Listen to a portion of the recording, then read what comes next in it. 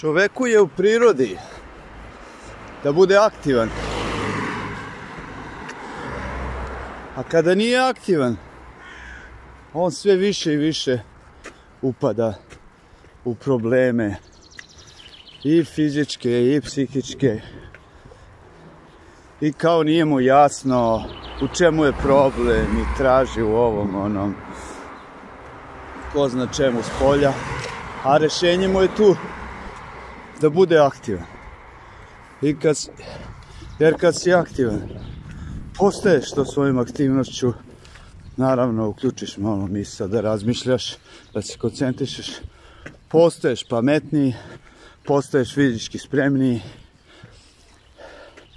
korisniji i za sebe i za društvo. Tako da budite aktivni jer pokret je lek, dule sklek. Pokret je lek, dule sklek. Vrapci u Beogradu.